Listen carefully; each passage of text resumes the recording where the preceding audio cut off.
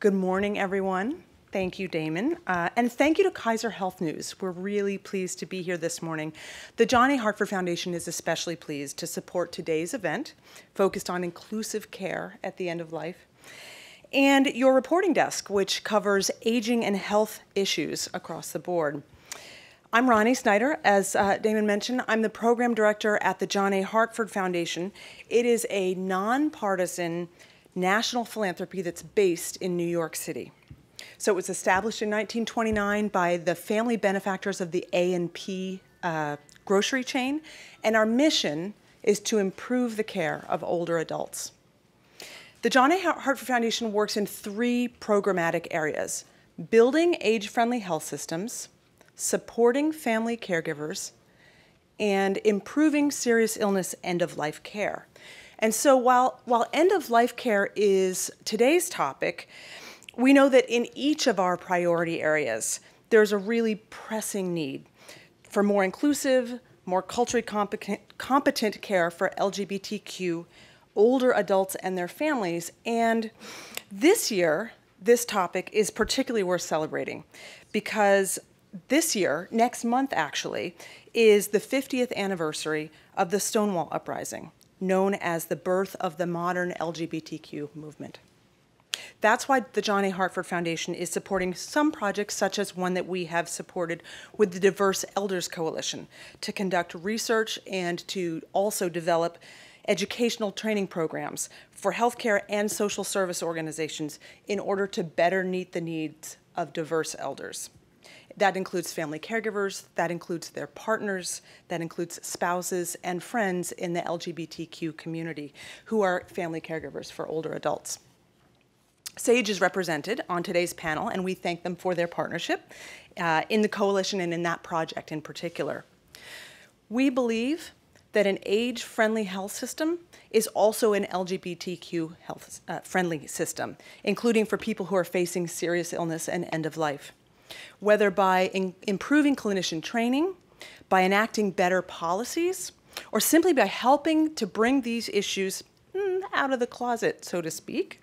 We want to better address the challenges and the concerns and also the opportunities that we'll be hearing about from this excellent panel that I'm really excited to hear from. So we thank Kaiser Health News we thank all of our presenters in advance for this um, really interesting and, and important uh, conversation. And we thank everybody in the audience as well for having this discussion today and for continuing this, this discussion into the future. So next, I'm going to hand it over to JoNel uh, Aleccia, who is a senior correspondent for KHN. Thank you very much.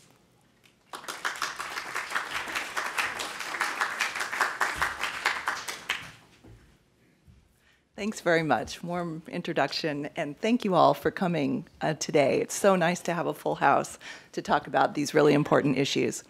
Um, I'm really gratified to see this panel here. They were all very kind in our conversations previously um, to agree to spend their time. So we have we are fortunate to have a diverse panel of people with a wide range of personal and professional experience about their end of life an end of life issue that's very rarely addressed and uh, that's how LGBTQ people are treated when they're dealing with serious or terminal illness or need care at the end of life. Uh, let me introduce the panel now.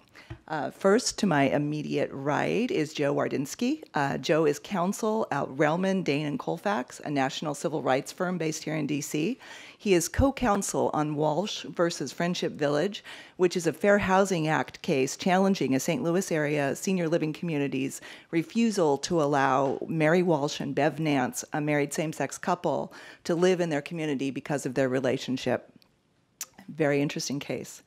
Um, we'll have another panelist here uh, from AARP, Nii Quartelai Quartey. He should be here any minute.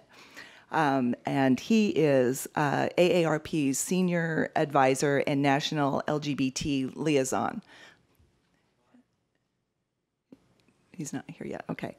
Um, then we have Aaron Tax. Many of you may know Aaron. Aaron is Director of Advocacy for SAGE, Advocacy and Services for LGBT el Elders.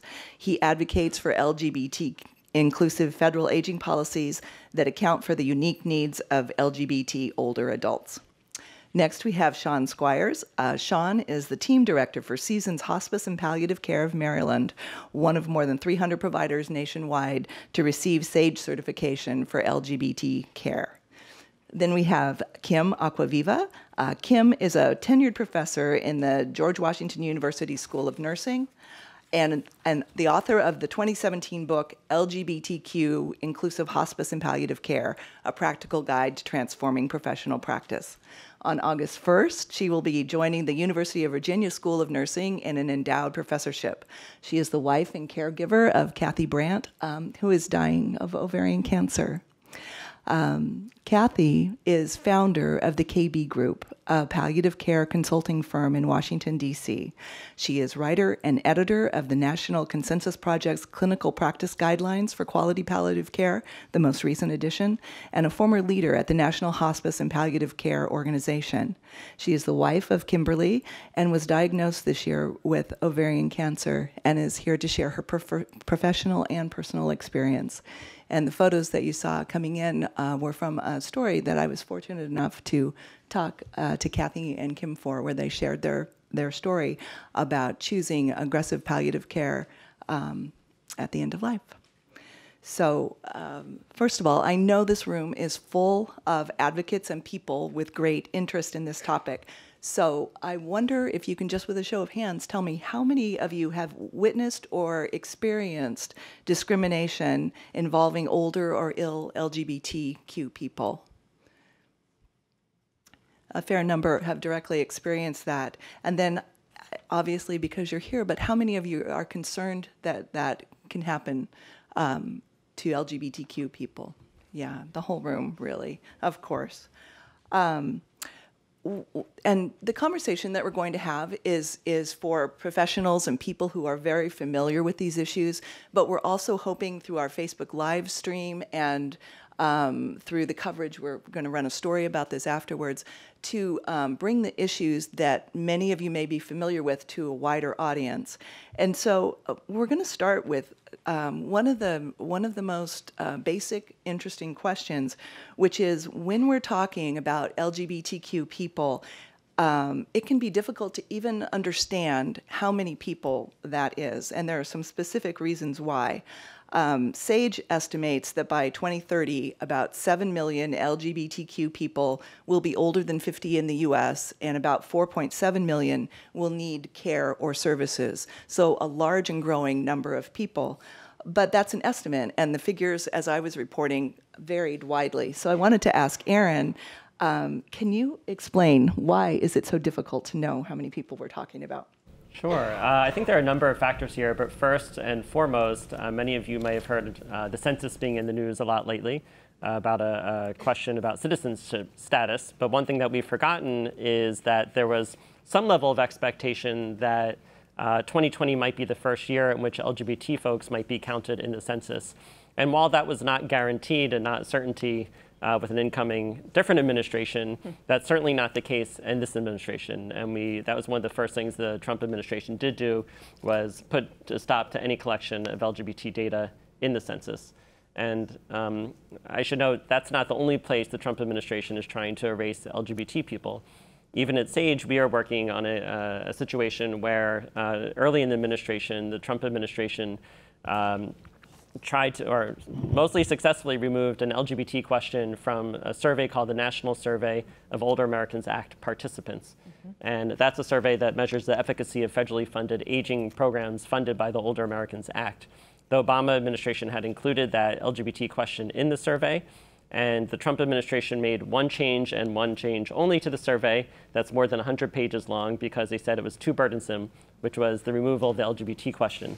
We fought back along with our allies and got LGB put back in, but unfortunately, the administration, I guess it's pretty obvious, really does not like transgender people and has succeeded in keeping that question out. So even the question about um, people defining their relationship as same sex or opposite sex is is scrapped from the 2020 census? So my understanding uh, uh, from experts who work on this at the Williams Institute and other institutions that work in the data space is that they are able to piece together data from the American Community Survey, kind of the longer right. version of the census, mm-hmm. and based on data of same-sex households and the gender uh, of the participants in the American Community Survey. They're able to piece together same-sex households. The challenge with that data, however, is that we find that LGBT older folks are disproportionately single, mm-hmm. and that's not going to count any of those folks. Right. Very difficult to get an idea, even of the community that we're talking about. Mm-hmm. And I have to say, as I was doing the reporting that I was doing uh, around the story I wrote about Kim and Kathy and some other reporting, it was a surprise to me to talk to people who, who were genuinely surprised themselves to hear that discrimination exists in long term care settings or in care settings at all regarding LGBTQ people. Um, the answer uh, was we treat everybody the same. We're caring and we treat everyone the same. Um, so Kim wrote an entire book uh, to serve as a practical guide for caregivers to offer inclusive care. And so I wonder if you could talk a little bit about the types of discrimination we're talking about, and um, both kind of covert, overt discrimination. Sure. Yeah. So I think you know the the most common thing that LGBTQ folks fear is that covert discrimination. So at a vulnerable time in your life when you need palliative care or hospice care, uh, you're facing a serious illness, the idea of seeking out care from a provider that you don't really know if they'll be accepting or not can make you feel even more vulnerable. And that's based on um, people's lived experiences before they had a life limiting illness or a serious illness, um, issues where either they weren't treated fairly, uh, they're asked questions by healthcare providers that make it clear that they don't see who they are. So, for example, if you walk into a clinic and the intake form says, you know, married, single, widowed, divorced, um, or let's say that there's only two boxes to check for gender, male, female, automatically people begin getting a picture of how inclusive that provider is. And so a lifetime of those small experiences with bigger experiences of, of overt discrimination can lead people to be fearful at the most vulnerable time of their life uh, to welcome someone into providing care discrimination um, at the end of life in terms of hospice and palliative care can look a lot of different ways. It could look like um, not treating a couple as a couple. Um, microaggressions, you know, constantly thinking that two women who are together are sisters as opposed uh, over and over and over again, so the default assumption. Um, and those things pile up. Yeah, I was struck too by some examples in your book of um, what struck me as um, cr- cruel discrimination.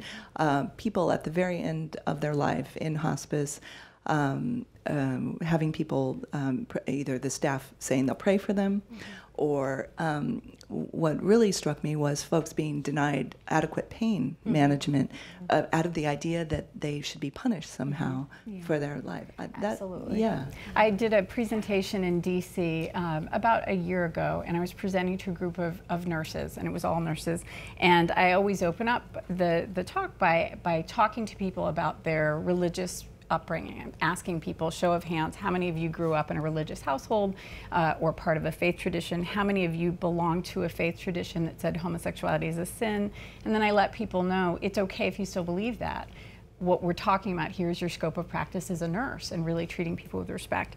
And at the end of that talk, a woman came up to me and she said, I'm going to change my practice because of your presentation. And I said, How? And she said, I still think you're going to hell.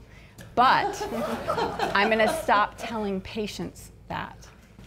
And I was speechless, and that does not happen often. I was speechless, um, and just thinking about if even one person, one patient had heard that from her, um, and imagine she had been. I don't think that's common, but the fact that there's anyone out there doing that is is an issue.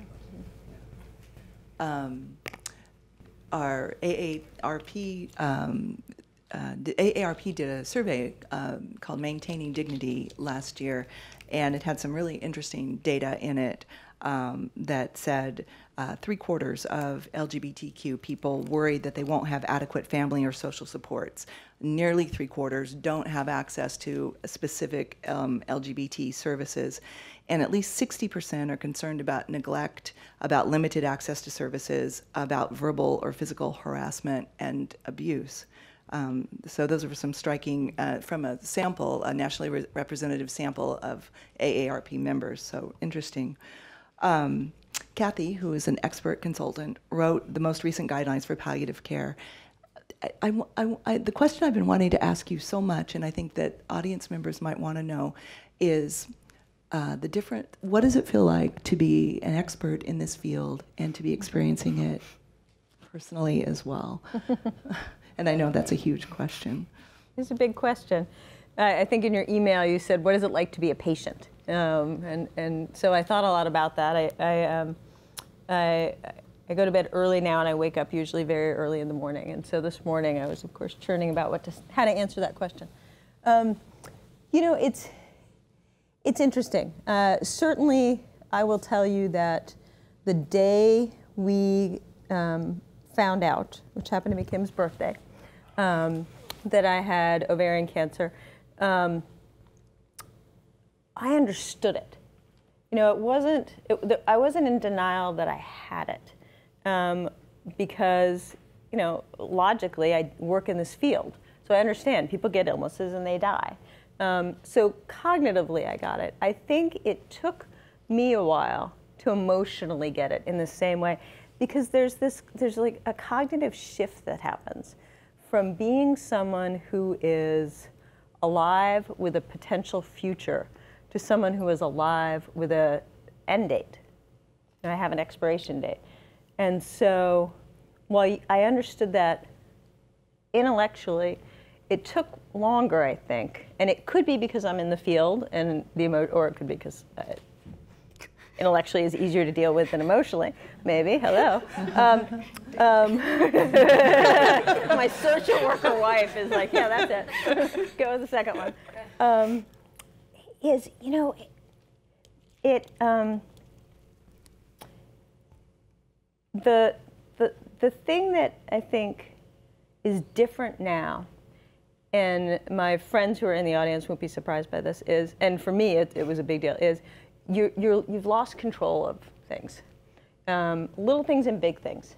Um, uh, you know, little things like when we were at the NHPCO conference, Kim had to wheel me around.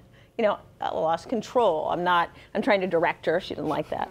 Um, so mostly I was just sitting there going, okay, where are we going? Um, but, but there are lots of experiences of that where it just hits you.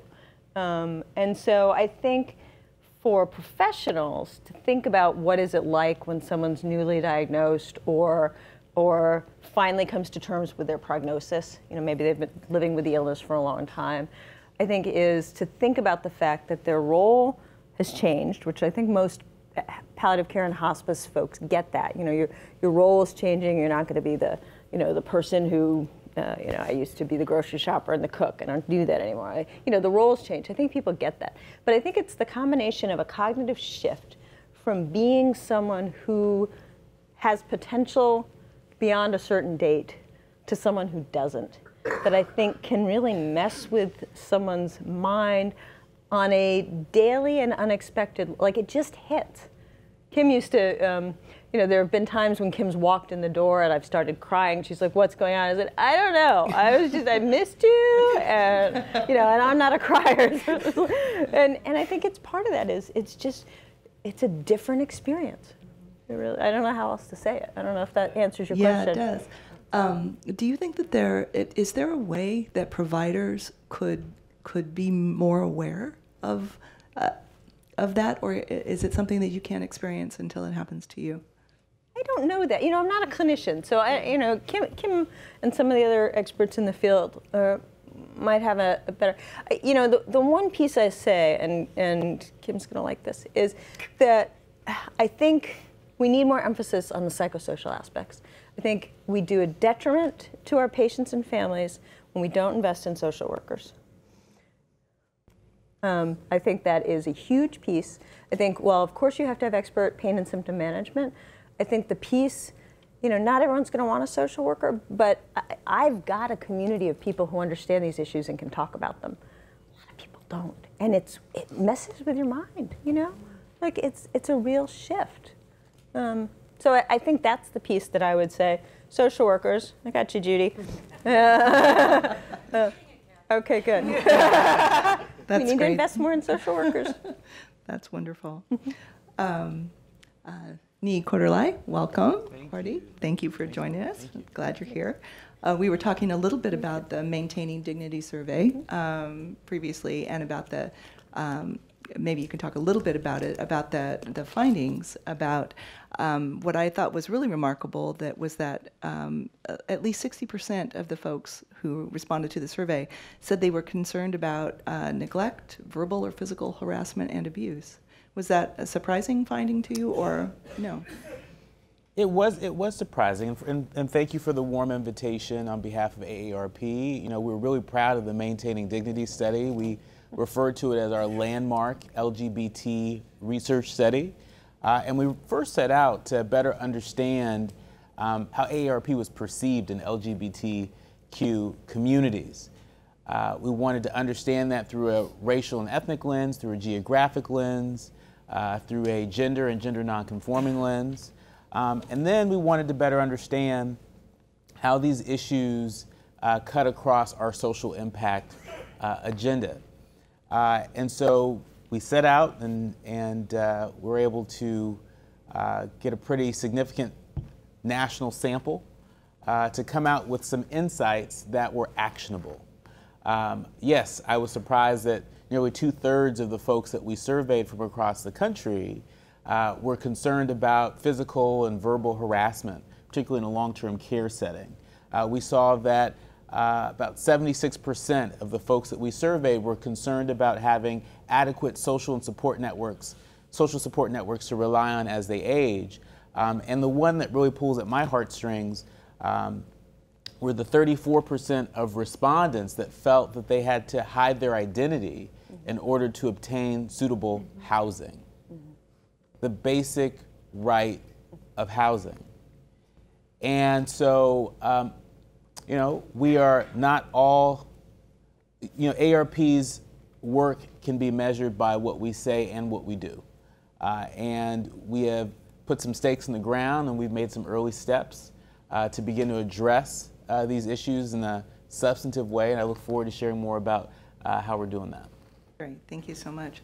And on the issue of housing, um, Joe, you are co-counsel on this case involving Mary Walsh and Bev Nance, um, who sued the St. Louis Area Assisted Living Center uh, specific that this home denied, denied them space specifically because they were a same-sex couple, um, even after encouraging them in the first place. I wonder if you can uh, tell the audience the outcome so far of that case, and um, I wonder the judge's decision in January hinged on uh, sex versus sexual orientation, and I wonder if you can um, describe that and, and tell us basically where we are with that case now. Sure. So uh, my firm represents uh, Mary Walsh and Bev Nance, a, a couple in St. Louis County, Missouri, uh, who've been together for 40 years, married uh, since 2009. Uh, and after uh, they retired, they began seeking long-term care options to move out of their single-family home, and they looked specifically for uh, a continuing care retirement community that, where they could move into uh, independent living together, uh, but then stay together for the rest of their lives, regardless of the level of care that they needed. So they had friends uh, at Friendship Village Sunset Hills, a senior living community in uh, St. Louis County near their home. Uh, they knew people there. They visited on a number of occasions. they were sort of courted by the, the staff, made a deposit, and when a unit became available, actually took steps to sell their home uh, and uh, almost put it on the market uh, before they were called by uh, a staff member at Friendship Village and asked what the nature of their relationship was. Uh, Mary told the, the person that they were a married couple, they'd been together for many years, and they were you know, seeking to live together. The next day, they got a call back saying, You're not welcome to live here. Uh, pursuant to our written policy, a copy of which was provided to them, uh, that limited uh, cohabitation uh, to married couples under the community's definition of marriage, which was the biblical definition of one man and one woman. This is not a religious community, it's not religiously affiliated in any way. Uh, it simply was a preference for uh, opposite sex couples and a overt discriminatory exclusion on same sex couples. So Mary and Bev were turned away. They were denied housing. Uh, we filed a lawsuit last summer under the Federal Fair Housing Act, which prohibits sex discrimination in housing. Uh, some federal courts uh, have, under both the Fair Housing Act and other uh, federal laws prohibiting sex discrimination, found that uh, LGBT people are protected under existing federal sex discrimination laws. Um, there was actually a case in Illinois uh, that Lambda litigated uh, on behalf of Marsha Wetzel, a resident of an assisted living facility outside of Chicago who experienced pretty horrific harassment from other residents, um, homophobic epithets, physical assault. She won her case. Um, but uh, across the, the river in Missouri, uh, we had less luck. Um, and so we had a judge who uh, decided that sexual orientation discrimination is something different from sex discrimination and dismissed the case uh, in January. We're appealing that case to the Eighth Circuit Court of Appeals, and we expect that because the Supreme Court took up the question uh, just a couple weeks ago in uh, several employment discrimination cases about how far the federal sex discrimination laws extend to uh, uh, LGBT people, uh, that the case may uh, ultimately be resolved after the Supreme Court decides those cases. Uh, Um, and so, what's the status of Mary and Bev now? Uh, so uh, they are living in their home and still uh, seeking long-term uh, uh, living options. And I had understood that Mary had had some health problems. Um, and so the so the very um, you know uh, all of our reporting about end of life care is advanced care planning. Um, put your you know get your ducks in a row basically for your end of life, and so that uh, obviously altered their end of life plan um, considerably. Uh, it certainly has made their, their life more challenging. You know, by this point, this all happened in 2016, so they would have been in uh, a home at uh, Friendship Village for the past three years with um, both a supportive uh, community, uh, you know, of, of friends and, and others, um, but also not having to worry about um, what their long-term healthcare uh, uh, needs were because they would be living in a community where they could have that um, taken care of uh, and stay together uh, for the rest of their lives. And, and so not having that option is certainly making their, their lives more difficult. So the case is essentially on hold pending the Supreme Court action on these other cases. Is that right? Uh, we, uh, we are waiting to uh, begin briefing in the Eighth Circuit. Um, the other side has sought to hold the case until after the Supreme Court rules, and we're waiting to find out if that's actually going to happen. Okay. Um, a, a question related to that is is in uh, long-term care or in um, hospice care. Um, I wanted to ask Sean. You're part of Seasons Hospice and Palliative Care, uh, which is one of the providers that has been certified by a program through SAGE called SAGE Care. Um, I, I'm told that there have been 50,000 providers at 300 U.S. sites certified across the U.S. Um, but it's still not not the majority. You know, just a small proportion of the hospices that are out there. I wonder if you can tell us um, how it works and how it how it um, works with your staff and the and some of the um, what you can tell me about what they've learned and specific examples of how the such training might change the way they approach LGBTQ people.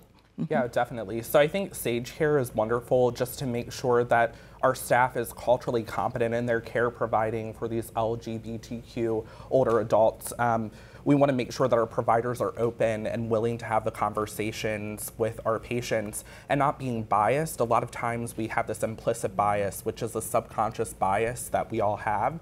And we're already projecting that onto our patient prior to us getting there. So it's important that we don't do that and Sean, that can we you can you give an example of uh, of an implicit bias and how that works in the real world? Yeah, of course. So I think like definitely if you walk into a patient's home and you see that the wife or you know spouse has a wedding ring on and you say, you know, is that's a beautiful ring. Is that from your husband? You already closed off that communication to that LGBTQ patient because they're already thinking, oh, they're looking at that heteronormative person. Um, so it's very important that we don't do that and project our implicit bias on our patients like that. What's the question they should ask instead? So I think they should say, tell me about your loved one. I think that's very important. So keep that open communication or tell me about the important people in your life. That's important too. That's good. Um, and I wonder if you can talk about some of the um, responses that your staff has had af- after training. Yeah, so I think that a lot of people are very open, but some of them are still very closed minded.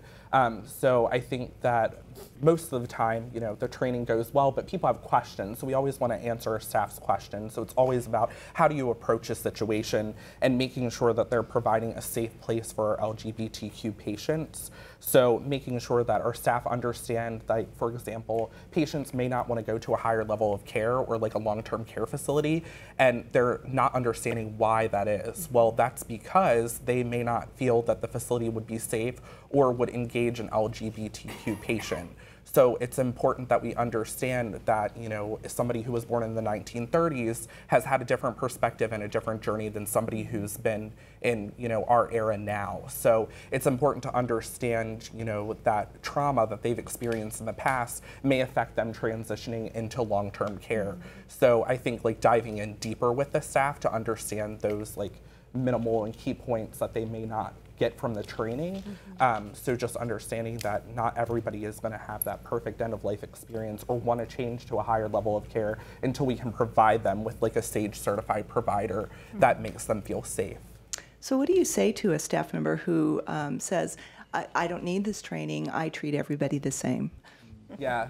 So I think that people need to understand that yes, you not everybody is treated the same, especially different communities. Like we learn how to take care of Jewish patients, we learn how to take care of African American patients. So you know we all get that training through hospice care. So this is another community that we need to be focused in and understand the training about. So I'm very much so open about having a dialogue and a conversation with them, you know, that this is, you know, we need to understand more about our population. So this is important that we take these steps to learn. And I wonder if you can talk about the impact on, on patients then. I, I wonder if you've seen impact uh, before and after training and what, what patients who receive this care tell you.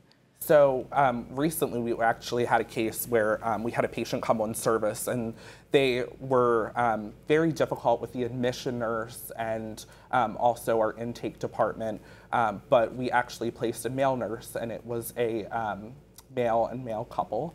Um, so we put the male nurse into the home, and they were actually very receptive to him um, because he said the admission nurse actually had said to him, like, "Oh, is this your friend?" So mm-hmm. they diminished that relationship from the start, mm-hmm. and that's very important that we never diminish those relationships. We don't refer to them as friends. We ask them, "What can I call your significant other? Do you like them to re- be referred as your husband, your spouse, mm-hmm. um, you know, your partner, your lifelong partner?" So it's important that we don't create that barrier right away. So the question that he asked was, how can I refer to your significant other instead? And I, that changed the whole dynamic. Can see that. That makes sense. Good. Very interesting. Thank you. Um, Aaron, we had referred previously to some of the federal policies, um, uh, policy actions regarding LGBTQ people. Um, and I wonder if you could talk about some of those. I mean, uh, last Friday the House passed the Equality Act in the House, right? Mm-hmm. Um, but I wonder if you can talk about the, the policy landscape now that folks are facing. Sure. I think the biggest thing on our radar right now is the reauthorization of the Older Americans Act. And how many folks in the room are familiar with the OAA? So, at least a good half of you. Uh, so I'll give you the, the short version yes. of what that is. Um, the Older Americans Act is the primary vehicle for the organization and delivery of social and nutrition programs in our country. It came about in 1965 under Lyndon Johnson's Great Society as a counterpart to Medicare and Social Security. The idea being you have Social Security there, ideally for your financial needs, and Medicare there for your medical needs. And the Older Americans Act is everything else that enables you to age in place in your community. So it funds chore assistance, transportation assistance, legal assistance, um, all sorts of programs that allow people to age in place. Probably the most famous program funded under the Older Americans Act is Meals on Wheels, which is a great example of what the Older Americans Act does. Uh, it also funds senior centers and congregate meals, so meals in places like senior centers. And there are certain populations in the statute uh, defined by cultural and social isolation as well as poverty. And these are so called greatest social needs populations. So these are populations that Congress believes need a little bit more attention from what's termed the aging network, all those aging providers across the country. And um, the reason is, in part, to address you know, the question we were just talking about, you know, can we simply treat everyone the same? Is that sufficient? And our, our main legislative goal right now at SAGE is to designate both LGBT older people as well as older people living with HIV as these greatest social needs populations. And that's because when we look at this popula population, we see, or both of these populations, we see higher rates of poverty, higher rates of social isolation, disconnection from families of origin. And because of that, uh, they're more in need of the programs uh, and services funded by the Older Americans Act. But because of discrimination and fear of discrimination, they're less likely to access them. So by designating LGBT folks, and as well as those living with HIV, as a greatest social need population, it can kind of tells the aging network that you have to do a little bit more to reach this population. You can't simply, quote unquote, treat everybody the same. Mm -hmm. Makes sense. Um, there's some concern about the rollback, of, potential rollback of Section 1557 of the ACA. Um, are, is, are we expecting action on that anytime soon? Soon? What are folks Joe, thinking? Joe might know more about this. Yeah. I kind of feel like it, every few months we hear a little blip that it's going to be coming down the pike very soon. Right. Um, you know, most recently uh, we thought it might happen at the National Prayer Breakfast. It's kind of hard to tell when this is going to happen. Yeah. Um, but there is an ongoing court case where I know this is coming up. Um, and uh, that's where the administration has publicly said that is their intention to roll back uh, the protections under 1557. You know more details about that case, Joe? Uh, a, a, little bit. So, -huh. Uh, Section 1557 is the ACA's non discrimination provision. So, it prohibits discrimination on the basis of sex, uh, race, and uh, age, and other protected classifications in federally funded health programs. So, that's um, most insurance companies, public insurance programs like Medicaid, uh, many large health providers that receive federal funding. Um, there is the statute that prohibits discrimination, and then also the regulations that the Department of Health and Human Services promulgated in 2016 to specifically define sex discrimination to include gender identity discrimination. Um, the, a, a, court put a hold on that uh, at, in the end of uh, 2016, uh, a conservative court in the Northern District of Texas. Fortunately, other courts, including in a case that I'm litigating against the Wisconsin Medicaid program, which has a blanket exclusion on transition-related health care, um, have held that the statute itself can be interpreted to protect uh, in our case, transgender people from discrimination uh, under 1557, regardless of what the HHS regulation, what their interpretation mm is. So uh, the administration may very well try to roll back um, these protections through a regulation, uh, but ultimately it will be up to the courts uh, to determine uh, the scope of the, the statutory protections. And hopefully cases like ours will um, uh, uh, help in that effort. And what about the impact of the um, HHS conscience rule that we heard so much about a couple weeks ago? Um, that it's the rule that is des- designed to protect the religious rights of health providers and re- religious institutions. Um, the administration says it affirms existing conscience protections established by Congress. Um, but I heard from many LGBTQ mm-hmm. advocates who thought that it would be a, a, way to foster more discrimination. What do you think, Kim? I think it's monstrous. Um, if someone is a healthcare provider, healthcare providers have an obligation to provide high quality care to each person, regardless of their judgment of a person's morality, ethics, religion, politics. And if healthcare professionals are going to be in a position to decide the worthiness of someone to receive care, we're headed down a very, very, very slippery slope as a country. Mm-hmm. Um, in, the, in this climate, I'd like to talk a little bit now about um, how folks can uh, ensure that they're not discriminated against. And um, uh, Quartelai, maybe you can help with talking about um, some of the findings in the AARP study, um, survey about the fears. And, and you said you had some thoughts about what to do about them. Yeah, um, you know, I think part of what we're hearing right now is that a rising tide does not lift all boats. Mm-hmm. Surprise, surprise. Um, and I think that insight was pretty clear in our Maintaining Dignity study, particularly among Black and Latino LGBTQ respondents. Um, we saw evidence uh, of fear around compound discrimination. Can you describe what that is a little bit? Feeling uh, actual or perceived discrimination based upon one's uh, race and ethnicity, in addition to one's sexual orientation and gender identity. um, we saw elevated levels, particularly among black and Latino respondents compared to uh, white respondents. And so um, I think you know, that emphasizes the need for uh, programs like Sage Care uh, to uh, offer cultural competency uh, trainings to raise the proficiency of healthcare professionals across the country. Um, you know, it, our AARP California State Office was a part of a coalition uh, that passed the LGBTQ Senior Bill of Rights in California. Uh, our Massachusetts State Office was a part of a coalition uh, that uh, passed a law that uh, required that healthcare workers have some level of cultural competency training for the LGBTQ community. and so these are just a few examples of what we've done on the policy side of the House. Um, I think Sage Care is a great program. I think the LGBT Prepare to Care Guide, it's a caregiving guide uh, that AARP developed in partnership with Sage. Um, at, at, one point, after we released it, we had trouble keeping it on the shelves. Mm -hmm. Not just because it was that popular, there's some great pictures in that. But because there was so much demand. Mm -hmm. So much demand. And so, you know, as we sit here today and as we, you know, think about uh, these challenges, you know, let's also um, think about how we can solve for it programmatically, how we can solve for it on the policy side of the House, um, how we can solve for it as individual change, change agents. Uh, that's, that's work that um, goes beyond any administration. Uh, it is work that we've all got to be um, all in for uh, for the foreseeable future. And so, and, and so doing this work uh, through an equity lens, with an attentiveness mm-hmm.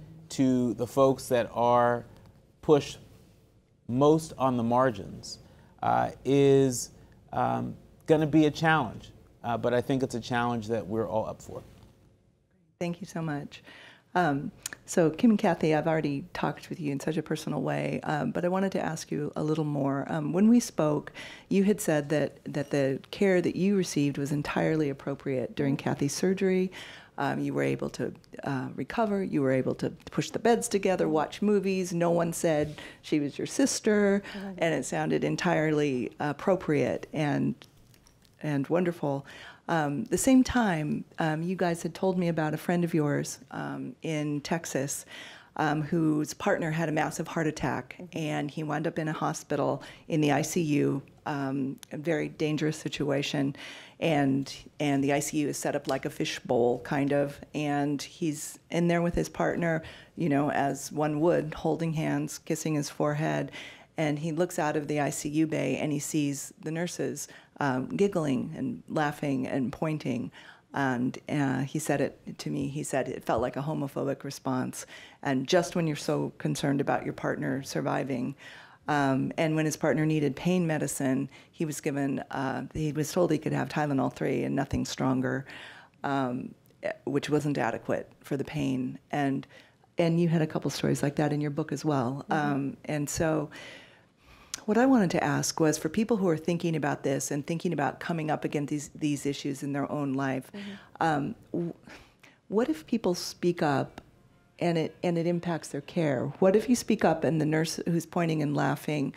Uh, what if you're fr- what if you, how do you how do you do that i guess is the better question yeah i mean I, so i think putting the onus on lgbtq people to be the ones speaking up isn't fair i think if anyone is witnessing that happening someone else should be speaking up. If anyone witnesses that, you should speak up, not the person who is in the right, vulnerable position.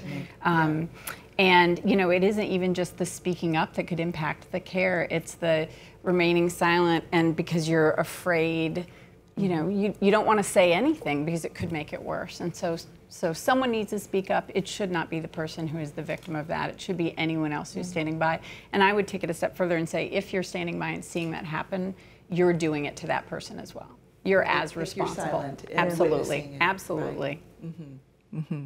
Yeah, I mean, I, I, hearing that makes me think of a, a really good friend of mine um, uh, who was in a head-on collision. You know, gay, openly gay friend of mine in a head-on collision in Los Angeles, uh, and I'm thinking about the care that uh, that he received, mm-hmm. um, and you know, uh, he is. Um, um, 100% authentically himself all the time. uh, and, you know, he has nail polish on his toenails. Mm-hmm. Uh, and so he is in excruciating pain. Uh, he's in the hospital bed.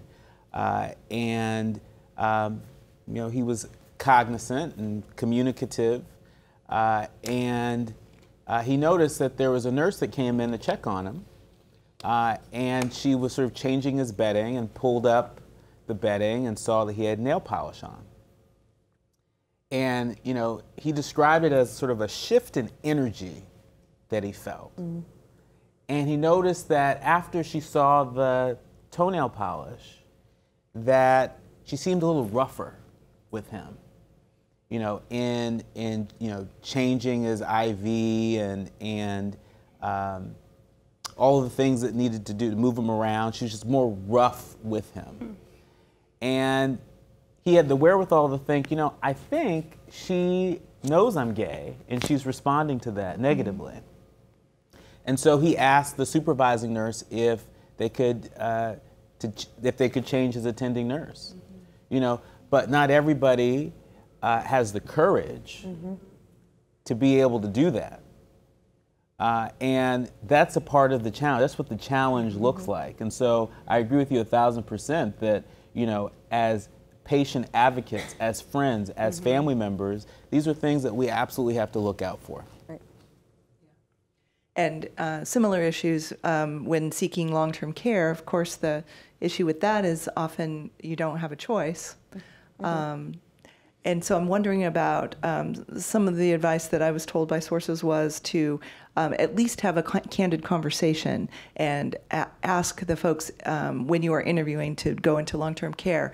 Um, uh, you know, what's your experience treating LGBTQ people? And if they say we've never had any, don't believe them. um, so that seemed like a good point uh, to make for the wider community. Um, so, I, so I'd like to open this up now because I'm sure you all have questions uh, for our panel and questions about the issues in general, um, and and maybe some experiences too. Some some um, times when you've uh, been able to to do it in a way that worked for the patients and for the caregivers, and we'd like to hear about that. So, yes, way in the back first. Yes. Hello, Eric Scharf with the uh, Depression Bipolar Support Alliance. Um, I think, Aaron, you made a brief reference to the issue of social isolation. Uh, we are doing a lot of work these days on social isolation and loneliness. Um, was uh, hoping you could um, uh, comment about how to deal with those issues uh, in this uh, uh, setting. we're actually working with a new national coalition on social isolation and loneliness that we'll be hearing more about in, in, in the coming weeks. But like I said, if you, if you kind of touch on that issue, I'd like to hear more about it. Thank you that addressed? I wasn't sure who that was addressed to. Oh, I, I think. uh, I think he said me. Oh, I you? wasn't. But okay. d- Discuss amongst yourselves. Who Okay. oh, who has, who has thoughts I- about addressing the issue of isolation, which I am sure is a, is a key issue in this community? I mean, I, I think I can give you one example of a program that we have at Sage up at our headquarters in New York, and this is our Friendly Visitors Program. Mm-hmm and uh, there are a surprisingly large number of LGBT older folks, um, in addition to the general population. And I think I should just make a note for one second of saying that many of the challenges that LGBT older folks face, like social isolation and poverty and whatnot, are the sim- similar issues to similar challenges that other older adults face. So this is not a unique problem to LGBT folks but unfortunately, it's more pronounced in the LGBT community. Mm-hmm. And there are other challenges as well in terms of going into the closet and so on and so forth. Right. So with respect to social isolation, one program we have in New York is this Friendly Visitors Program. People sign up, and there is some um, level of commitment. So it's not this one-off where someone just visits someone, you know, once uh, and that's it. Uh, but there's some level of commitment, commitment, whether it's six months or at least a year. And I remember hearing the story of one of these people who is homebound, and he had not left his apartment in four years. Mm. And you know, personally, I cannot even imagine not leaving my apartment, you know, for a whole day. But I can't imagine, let alone, you know, four years. Um, and for many of these people, much like with the Meals on Wheels program, it's so meaningful to have someone just even come into their home mm-hmm. and have some level of social interaction with them uh, that it, it, does really make a world of difference. Mm-hmm. And unfortunately, not everyone has access to a friendly visitor program or a similar program like that. Mm-hmm. I could tell you about another innovative program through our affiliate in Maine uh, which is a much more rural setting than New York City. And people there, you know, it might be harder to get up and running a, a friendly visitors program. So what they do is they have a, a call-in uh, line once a week at an appointed time. And people can even call in anonymously if they're still a little bit in the closet and afraid to be out. And it gives, gives them just a little bit of a chance for some sort of social interaction. Um, and again, something as small as that can make a, a world of difference.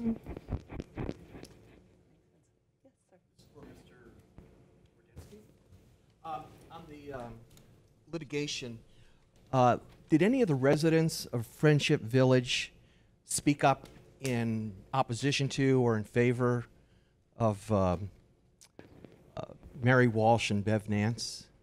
Or were uh, they silent on that?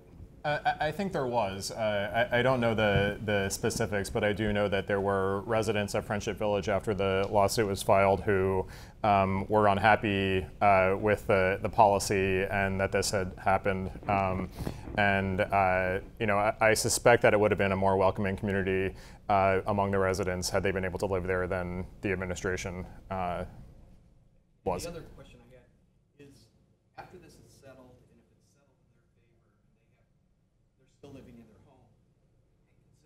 Turbulence that they've suffered, mm. would they even want to go to Friendship Village at this point, or do you think that's the, the trauma's been too too great? Uh, I, I, think it's an option on the table, and uh, we, you know, we'll see how long the, the litigation plays out and what their situation is. Then it'll be very different by the hmm. end of this lawsuit than it was in 2016 when they were, you know, just at the beginning of their uh, long-term housing search. Mm. but um, you know, it's certainly a concern that a, a community has, uh, at least from the uh, the official level, communicated to them that they're not welcome, um, and that's something that they will, you know, have to weigh. Yeah, and I know this is the one that you litigated, um, but I wondered what um, maybe have, if you have informally heard from folks in similar situations um, uh, who have been turned away. Um, I mean, maybe this is the case that could go to court, but.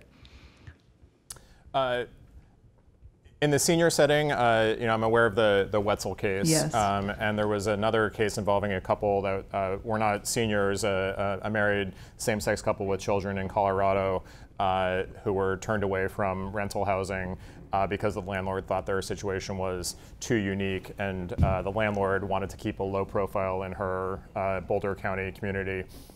they sued under the Fair Housing Act and also won their case about two years ago.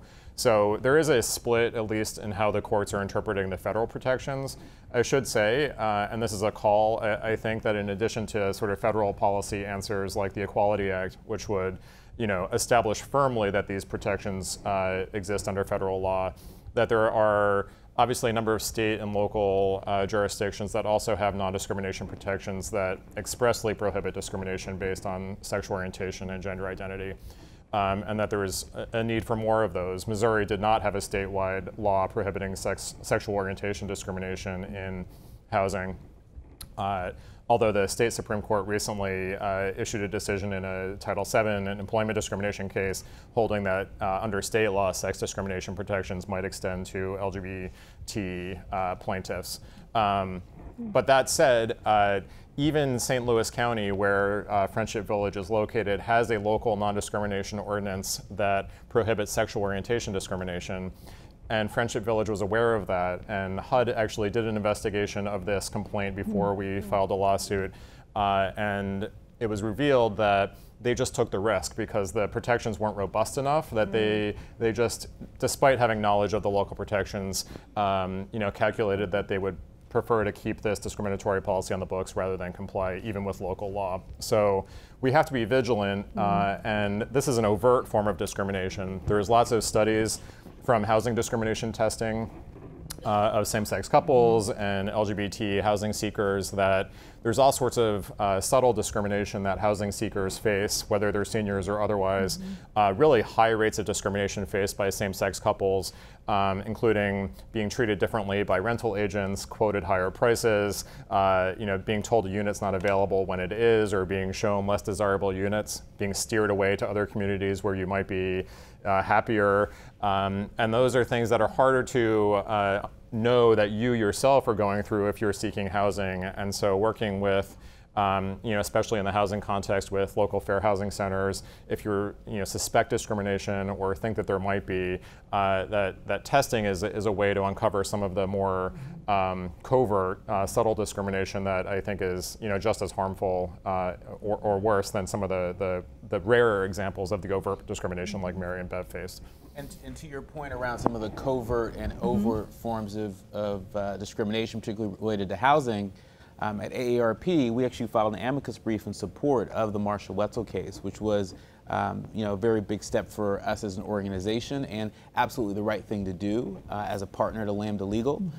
Uh, uh, and on the covert side, uh, we've actually uh, started doing some work with an organization called NAGLREP, the National Association of Gay and Lesbian Real Estate Professionals.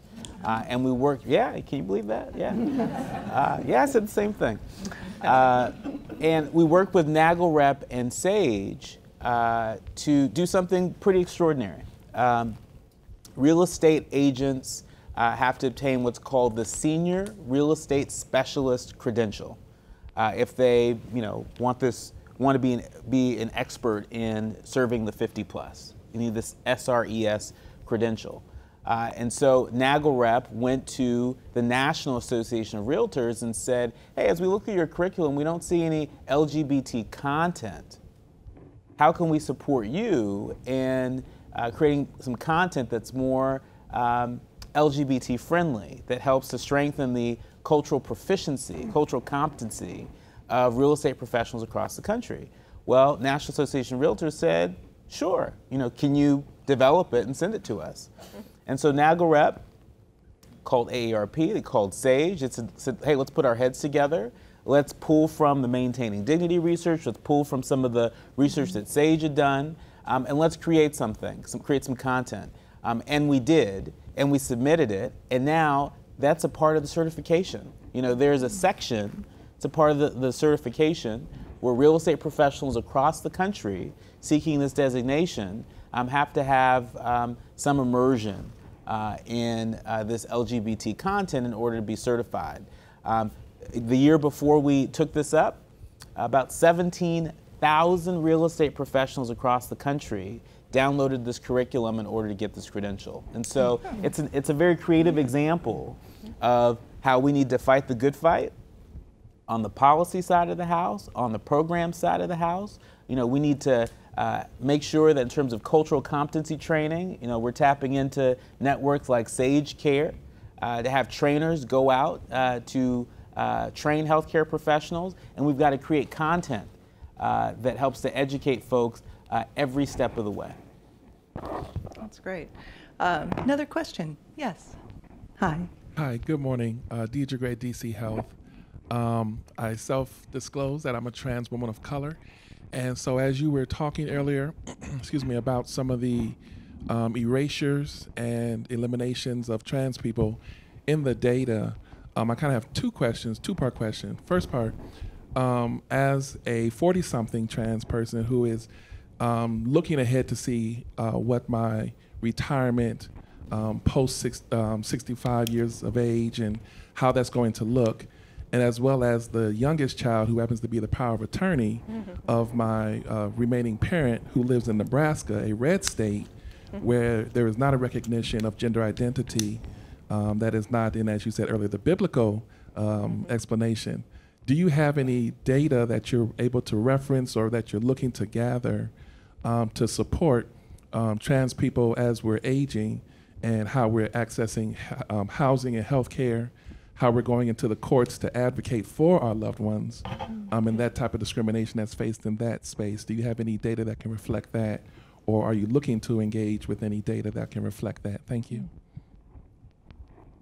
Well, we are at AARP. We're definitely looking um, to collect more data. In fact, uh, with the Maintaining Dignity study, we found there are four areas where AARP can make the biggest difference: addressing issues related to culturally competent care, affordable housing, social isolation, and data collection.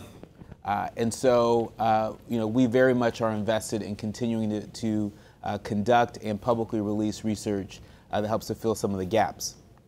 you know, when we did this, this study, at first we were looking at 50 plus LGBTQ folks.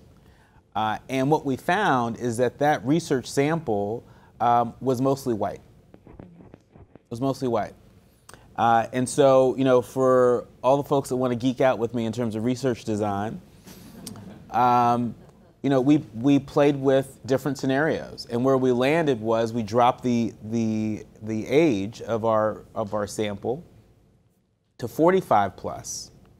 And that allowed us to have about a third of our respondents uh, from communities of color. Uh, it allowed for us to have uh, a bigger sample of folks that identified as gender nonconforming, which is uh, inclusive of but not limited to transgender. Uh, and so, um, you know, this was a stake in the ground. It's an opportunity for us to do better. I want to learn more about your experience uh, going back to Nebraska uh, as, as a, a, trans woman of color um, and some of the unique challenges that you're having to navigate so that uh, for the next study that we're working on, we can make sure that we're collecting insights that meet you where you're at. Let's see, way in the back there. Mm-hmm. Hi, um, is it on? Okay. Um, my name is Andy. I worked with Kimberly on the book, uh, doing press. And the reason I came to Kimberly and working with the book, um, I work with a scholarly publisher, and this book came up. But uh, my mother died a couple years ago, and one of the nurses caring for her made an aside to me that was very subtle, but she said something about me being gay, and it had never come up at all um, during my mother's treatment and when she was in hospice. I didn't take great exception, but I just thought, hmm, that didn't seem seem right.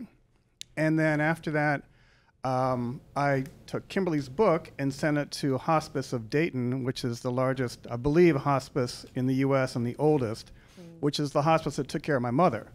And I believe now they're adopting the book into their program and they're waiting to get SAGE certified. And um, but anyway, that whole thing happened just because of an incident at my mother's hospice. And my point is, it's not just LGBTQ patients.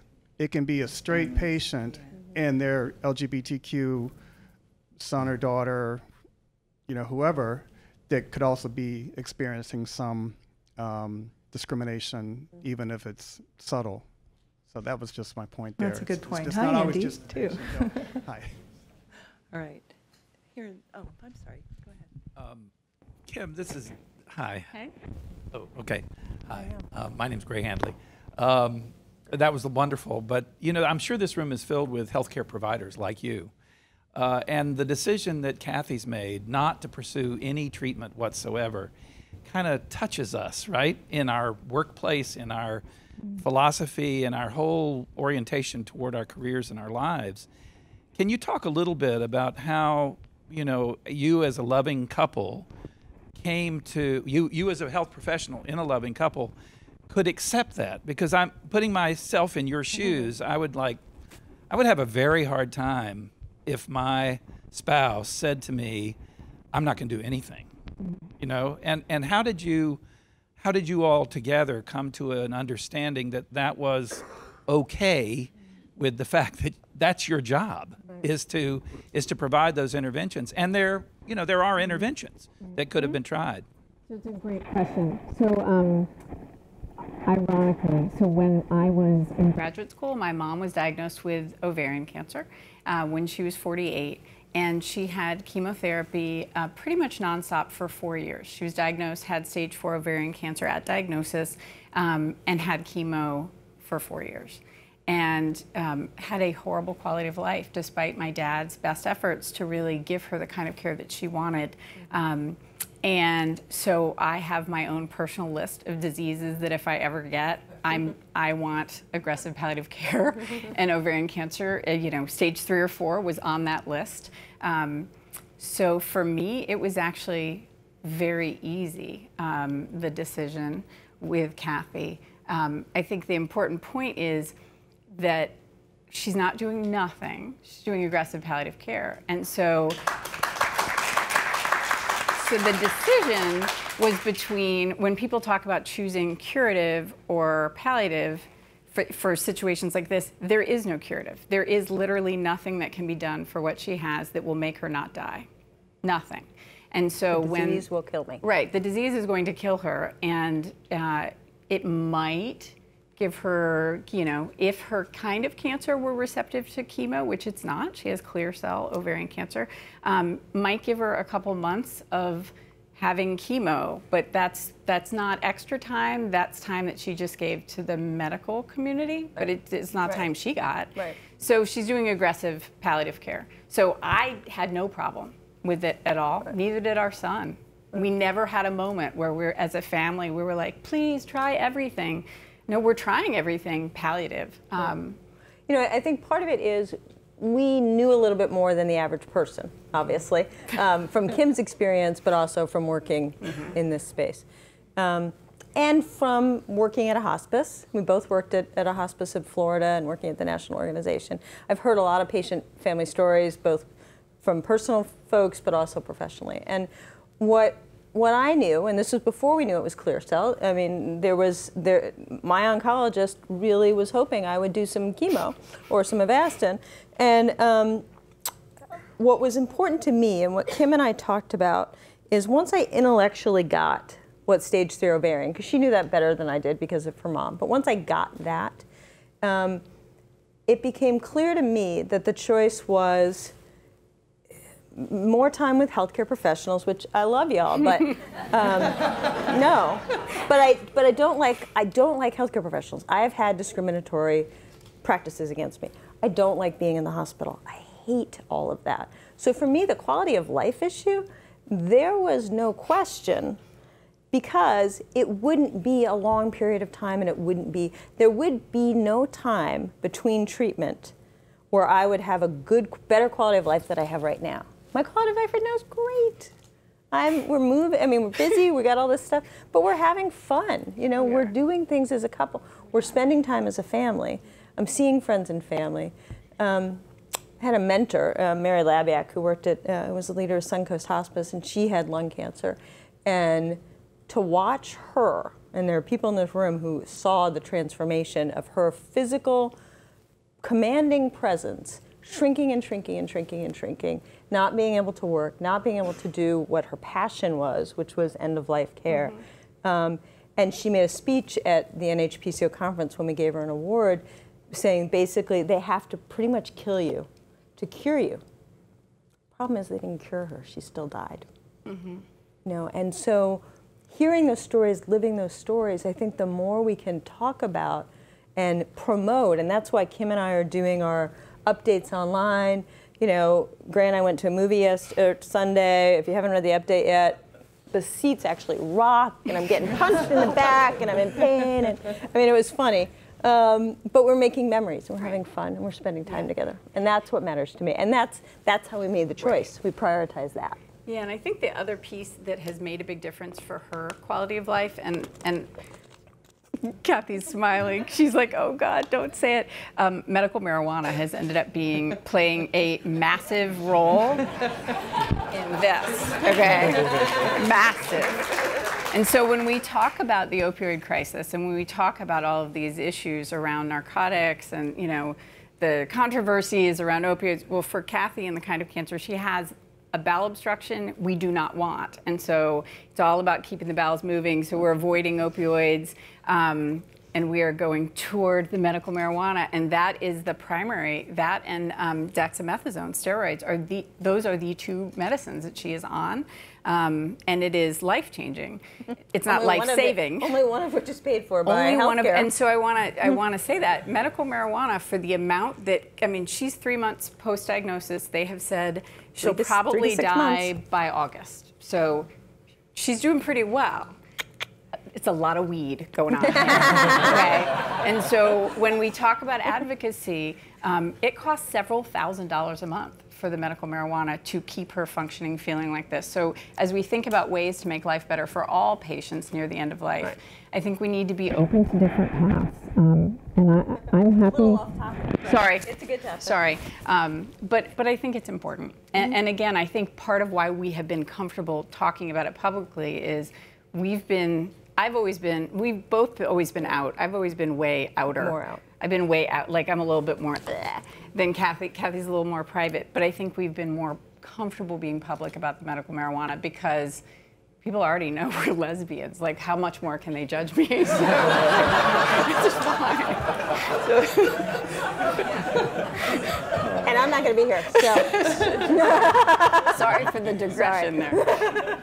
Another question here. Hi, Meg Foley. I'm a nurse practitioner. A lot of experience with um, HIV and uh, and oncology care. And so my questions are really mostly for Kim, although I've heard echoes a lot with um, with what others have said. So in terms of nursing curricula, are you seeing a big boost in thirst for this knowledge? Um, are you seeing the population of students changing in attitudes? And are you seeing any board questions for nursing boards? Yeah. that so that's such these a great issues? question. So um, we are seeing a population change in students. So um, you know, more and more seeing students who are choosing programs. Uh, this is the last three or four years, or the first years that I'm really seeing students coming, saying, "I looked for a program that had out faculty. I looked through the bios to see does anyone mention LGBTQ work." Um, Am I seeing a big boost in curricula? No. And I would say that that is related to your third question, which is board questions. So until um, USMLE for medical for physicians and NCLEX for nursing, until there is a push to ensure that there's not just a few questions, but infusion around LGBTQ inclusive care, the curricula will not change. And so. Um, no, I'm not seeing a big infusion um, because if it's not being tested, it's not really being valued. Now, there are some schools that are really making that push, and UVA is one of those schools that's really uh, looking to infuse that throughout. And so it's part of the reason why I'm moving toward UVA. Um, and so it is happening, but it is, I think the board questions really are going to help drive that change. Yes. Oh, sorry. I guess I'm not supposed to pick people. Okay. Well, she, thank you for picking Yes. me. Hi, I'm Judy Paris with Social Work Hospice and Palliative Care Network. Um, congratulations, Kathy, on the latest edition of the consensus guidelines. And although they probably don't specifically mention medical marijuana, I'm wondering what your hope is for them in the future. For the guidelines? hopefully no one, hopefully none of the guidelines chairs are watching. Um, so what I will say is I think that medical marijuana is part of a palliative care plan and should be part of a palliative care plan. Um, I think that, um, as Kim mentioned, opioids are not my friend. Um, not only because of the bowel obstruction, but because I, don't- I just don't handle opioids well. um, but I, I do think that um, there is a role. There are patients who are taking it now, who uh, healthcare professionals, because of federal laws, aren't able to give advice on how to do it. So when Kim Kim went to the dispensary here in D.C. several times before I did, um, and basically the only people who are advising you on oh you have pain. I mean they ask him you, she has pain, she has nausea. Those are the things we Not want to manage. you, right. Yeah, anxiety. Um, and so they asked the question and they gave advice. But they're people who work at a dispensary, they're not medical professionals. So it needs to be integrated. So I do think there is a, uh, a challenge and an opportunity for hospice and palliative care professionals to learn about it because your patients are going Mm-hmm. to use it. Um, it's it's uh, how many states now? I don't know. Well, you're the one who brought it up. Um, you know, there are a Just number of what works for you. I have no idea about there the law. states. But you know, our nurse practitioner, she um, is interested and wants to hear what we're doing, but she can't give me advice. She's never even been to a dispensary. She wants to go. You know, and so I would advise palliative care professionals reach out to local dispensaries, talk to them, do outreach around palliative care there. There's a ton of people there. Kim, Kim's been making this point all over the place. There's a ton of people there who need palliative care. They're, you know, mm, I would say, I hope, most of the people taking medical marijuana actually have a medical problem that is addressed Mm-hmm. by the marijuana, and it really does help. So I think there's a, a role for a partnership and an integration, and Kim probably has better ideas, Well, and but a need for more research. I mean, I think Yeah. we need to understand more about the effect, you know, if you're trying to treat nausea versus sleep versus we've had to experiment. Like I, they have a strain of marijuana and they tell me, oh, it's good for this. So I bring it home and we try it out, like Girl Scout cookies versus like I don't know these things, and so we kind of trial and error. Um, but it would be really helpful for folks to do research and actually be able to say, you know, understanding this about the cannabinoid system and how does it impact this. You Right, or know? even breaking down the fears or making people aware that it's an option. Right. Because I don't believe right now that healthcare professionals can do that. Right. But it, it is a viable Right. option for folks depending on the diagnosis and the situation. And the federal laws, I do want to add this, even though it is legal in DC, it is still illegal. It is considered um, Schedule One federally. And so that actually limits quality of life for people who are at the end of life. So when we, um, I can say this now because we're back Right. from, but when we were going to see our son win um, a film award in Oklahoma, our biggest concern was how are we actually going to manage her symptoms in Oklahoma? That meant flying on an airplane with marijuana. And so we had We to did. have and we did. Um, we had conversations with my family. My dad was like, "I'll bail you out if you guys get stuck." Um, I you had know, to carry it all. I, I was because like, "I'm not if they're going to carrying it." arrest someone, you arrest the terminally ill woman. Right, and so, um, but we had to. I mean, we're Go ahead, I dare law-abiding. We're law-abiding people, and so we. But a, but if we weren't risk takers, we wouldn't have gone to Oklahoma. We would not have seen our son win an award in an international film festival. Um, and so when we talk about laws like. Uh, around cannabis, it impacts LGBTQ patients at the end of life. It impacts everybody. Um, so sorry to derail it and talk about weed. sorry. Um, let's see. Yeah, I'm sorry. You were next. Okay. Thank you. And then you. Good, good morning. My name's Aaron Tripp from LeadingAge. Mhm. Um, we've got uh, in November, there's a, a new part of the nursing home regulations that's adding trauma informed care, and that's a big, Mm. big concern and big thing that a lot of facilities are pushing. And um, you mentioned trauma before. I'm curious if you guys could talk about sort of the intersection between cultural competency Mm. and trauma informed care, particularly for long term care and end of life for the population. I can give you an example of uh, a client I have in my old job when I worked on Don't Ask, Don't Tell, and he was my oldest client. He had been kicked out of the military during World War II, and in the process of being kicked out, was thrown in the Navy brig in the prison for a few weeks. Underwent a psychological examination where they tried to, you know, really figure out if he was gay, and they ultimately determined that he liked interior decor- decorating. That was a piece of it, which was true because he became an interior decorator. And um, on his discharge paperwork, it said on it, class two homosexual and undesirable. That was his official characterization from the government. And we were helping him out, you know, towards, you know, more towards his end of life, uh, trying to make sure he had access to VA benefits.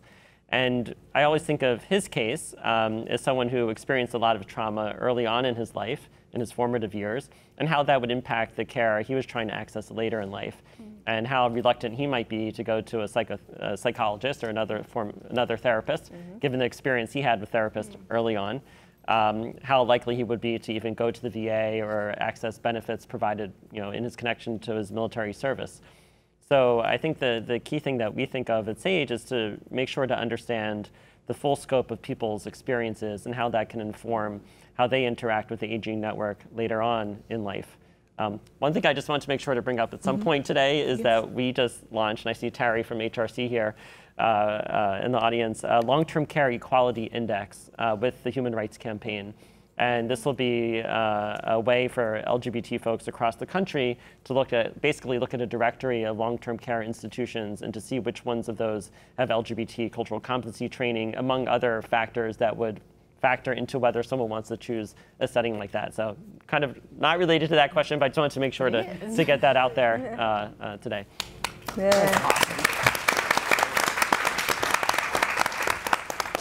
Yes, you. Hi. Uh, I guess it's on. Okay. Hi, I'm uh, Dan Grimm from uh, CareFirst Blue Cross Blue Shield. and we've talked a lot about roles that um, providers have played, um, facilities have played. I wonder if you could talk a little bit about some best practices you've seen from the health insurer or the health payer um, Mm. sphere about how they've Mm. been able to support LGBT individuals in the end of life. Well, one thing that I, I hear come up quite a bit, you know, is people talk about the, when we do training, so we're doing training with frontline staff, SAGE trains people. Insurers, though, play a powerful role in either helping people feel valued and seen or potentially exposed and vulnerable, particularly when it comes to patients whose gender identity does not necessarily align with the sex assigned at birth. And so, you know, in terms of a best practice, for insurance companies to show flexibility when they're generating a bill and sending it to someone's home to make sure that the name on that envelope is the name that person uses. Because it, when you're sending mail particularly to someone who was you know assigned let's say assigned male at birth they identify as female now you may out them and make them vulnerable to not only discrimination potentially violence just by something that seems as simple and small as the name on an envelope so I would say a best practice, insurance companies don't be wedded to how your data systems work and generate things. You could actually save people's lives by showing a little flexibility.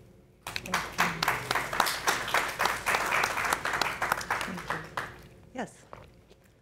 Blue shirt. Good morning, Tim Agar with the Northern Virginia Regional Commission. Um, in speaking to the conversation before about compound discrimination, um, aging, LGBTQ issues, and HIV are linked, Mhm. unfortunately, perhaps, as we approach Stonewall 50. Mhm. How do you see the, the parallel lines of um, addressing these issues in uh, advanced care Mm. uh, playing out?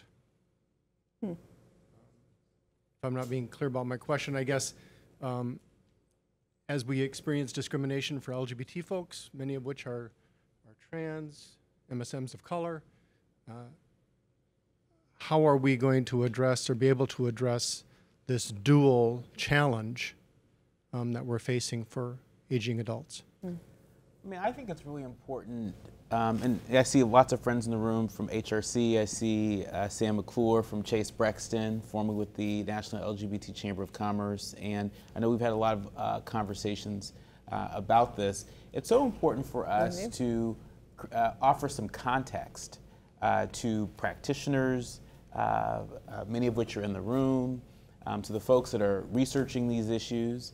Uh, you mentioned Stonewall 50. You know, this is the 50th anniversary of Stonewall, uh, and it's a tremendous milestone for the community. Um, you know, it's not lost on me. It's not lost on us at AARP that you know there's a whole generation of LGBTQ folks that never expected to make it to 50. And there are systems and structures that didn't expect them to make it to 50 either. And so we're all playing a game of catch up. Um, we're all sort of reimagining what are we going to do with this, this time. Uh, and in order for folks to understand that context, we got to tell stories. Uh, we've got to do a look back and a look forward. Uh, and so we've invested a tremendous amount of resources um, in uh, collecting stories and working with partners to elevate stories, particularly uh, with some attention to uh, folks from traditionally marginalized groups, you know, women, folks of color, trans men and women, gender nonconforming people. Um, you know, how can we elevate their stories so people have a better sense of the context uh, in which we're all working in? Um, we have uh, just a few minutes left. I wonder if there um, is a question from Facebook that we've heard. No? Okay. Um, that's fine. Yes.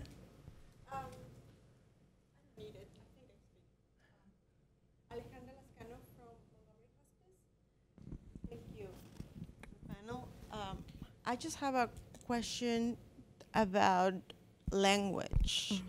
Um, we are um, particularly good with these euphemisms about life-limiting illness, um, all these words that we use. And this is the first time that I've heard somebody say dying from something. So I was wondering if this is a choice, if it's an empowering choice for you, and if this is something that you see as moving forward, empowering people living and dying from one of these illnesses. Yeah, you know, I think it's interesting. I think, um, you know, talking about compound discrimination and things, all of us have different lenses through which we see ourselves in the world.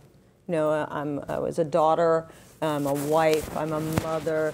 You know, I have all these sorry different roles, and um, and and perspectives on the world. And one of the perspectives I have now is, you know, as someone who is dying. And so, you know, I- hadn't thought about it as empowering, but I, I think it probably is because I've accepted it. If I hadn't accepted it, and I think this goes back to, you know, even being gay, you know, Kim talked about um, she was way more out than I was. You know, I knew who I was, and I was out to everyone, everyone knew me knew. But, um, but it has to do with how much you accept it. And it took me longer, I mm-hmm. think, to accept the fact that I could be who I was out in the world. And if you have a problem with it, that's on you. It could end up hurting me. I mean, mm-hmm. there's there's a potential for violence or other things that could happen, but that's really you. So being out is about accepting myself. And I my guess is, based on your question, that for some people who may not have the same acceptance of end of life issues, because I've been working in the field for 30 years, you know, it is empowering. And in, you know, if you lived in our house, you would probably be appalled because, you know, we make jokes about it all the time. Kim in the hospital, this, if you've read the updates, you've seen this talked about how I don't have hand cancer. I could pick up the phone and call someone myself. And the reality was, I could. I was just feeling like I don't feel good. I don't want to do to it. order her ice cream. Can you call and order me I ice could do it cream? It was like the phone was right next to me. I could do it myself, and she was right. And but and we joke about that, and we have so many jokes, and even Gray will say, oh, you know. Um, you know, he'll, he'll make a, a comment about whether I'll be around then, or and and you know, and then and then he'll get he gets sad, and I'm not saying we don't get sad, but by using the word, we're not denying that it's happening. Right. You know, and I think that's the problem when we as healthcare professionals shy away from the word. We are saying to you, I'm not sure, I, don't want to tell you you're dying. Right. I don't want to admit you're dying. But, but I think we need to let go of the euphemisms to the extent that we can to make it more accepting. And again, that's why we're, we're doing what we're doing. You have Yeah. thoughts? Oh no, I was just thinking when we um, when we found out that it was clear cell um, and not just garden variety regular ovarian Bad cancer, ovarian cancer. Um, we were on the phone together. I was out on a hike and we were conferenced in with the oncologist. And we were trying to get a sense of prognosis. And I asked it like 42 different ways. She did. And at one point she goes, "Oh, you mean you mean you're you're asking about her dying?" I was like, "Yes, that's what I'm She was going asking." all these things She about was like, studies and right. uh, So I think we're so in healthcare, we're so not used to talking about it. There's no shame in dying. Um, there's no, there shouldn't be stigma around it. It's not my fault. We're still getting used to trying to figure out how to break the news to people. We were at, we were with people from our Quaker meeting at a camping thing uh, two weekends ago, and someone said, "Oh my God, Kathy, you're eating gluten." She has celiac. Did something change in your life? And Kathy goes, "Well, I'm dying, so I can eat gluten now." And the person didn't know she was sick, and it was, it was. a little better than that. But but we're getting used to trying to have to It's hard to soft pedal. people. How do you tell people? Because people get sad, and then you're managing their sadness, and you it's like, wait, bad. I'm the one dying. Sorry, didn't mean to tell you. So I think we're just not used to saying dying. So yes, I think it is empowering, um, and it's also the reality. Yeah, it's a great question. I think that I'm, we're out of time, actually. Um, so thank you all very much. Thank the panel very much.